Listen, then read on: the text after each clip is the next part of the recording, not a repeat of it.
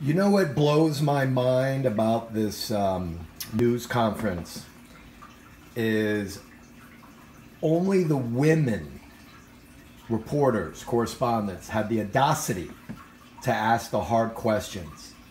Where the men that stood up asked namby pamby, uh, run of the mill, you know, questions that couldn't possibly get them in trouble because, as we all know, all the men in Russia who go up against Putin either end up dead, poisoned, or missing. And this question is really good. It's about, well, I'll let you guys hear it and judge for yourself.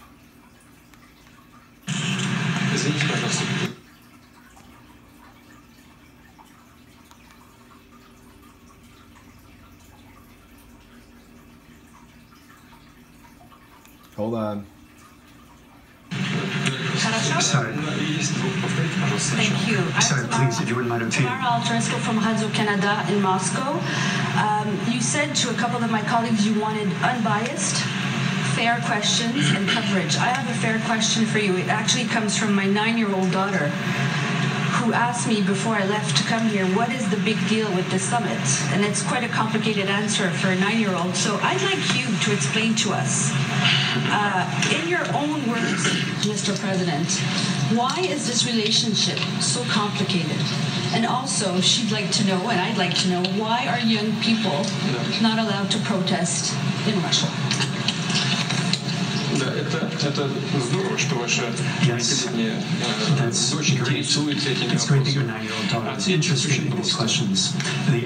Надо посмотреть вокруг себя и сказать, видишь, как прекрасен э, Взрослые люди, руководители двух стран, And uh, adults, крупнейших the ядерных leaders of держав, two countries, the встречаются для biggest того, nuclear чтобы powers, сделать are этот мир meeting. безопасным, They're doing that in order to make the world Надежным. safer, more reliable, процветающим домом для and всех a жителей place for нашей everyone, a home for everyone Они to будут flourish, обсуждать for all вопросы, those who live on our связанные planet. со страшным оружием, And They're doing that. They're addressing issues that have to do with the terrible weapon, which needs to be limited. They need to draw up common rules on refraining from using those weapons. They talked about protecting the environment, about rivers being clean, чтобы не было наводнений, не было засухи, для того, чтобы было достаточно обеспечить продовольствие для всех жителей планеты, где бы они находились. Они будут говорить говорить о вопросах здравоохранения, чтобы дети растут, чтобы они меньше болели, чтобы они могли учиться и смотреть в будущее. Мне также хотелось, чтобы нашу сегодняшнюю встречу, уважаемые феминисты, вы освещали именно исходя из этих соображений. Благодарю вас за внимание. Всего доброго. Спасибо.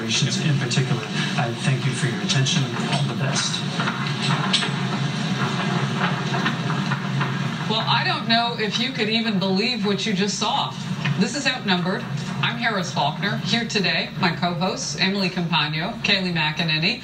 Also with us, Fox News correspondent Gillian Turner. And in the virtual center seat, get ready. The very first time, former Secretary of State under President Trump, Mike Pompeo. Secretary, I, I want to say just a couple of words before I come to you. Uh, let me pick them closely and, and carefully.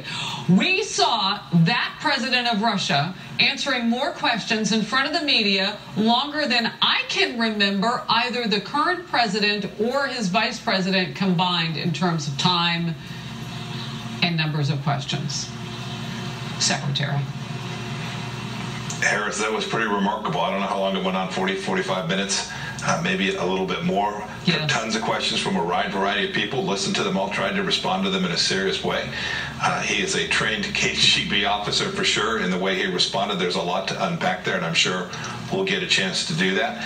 But it also, Harris, highlighted how important it would have been to have President Biden standing there beside Yes. him. Because I know some of the things he I know some of the things he said there are fundamentally false. He, he doesn't reflect the reality of the world and how he speaks. He is a trained propagandist, and you didn't have an American president standing there saying, "Wait a minute, that's not right," and confronting it. Well, not only that, uh, somebody made the decision with Biden going last to make this all about Putin. I mean, you just gave a killer, even though our president doesn't want to call him that. Secretary, I'd be curious of, your thoughts on why that would be. But you said don't let this happen. You said it makes the current president look weak and that this is a failure. You said that going into it. And now maybe it's a little bit more clear. No American flag up there when these things, are no American president, no pushback, none of that. And you can imagine that Biden now, Secretary, will be asked about what?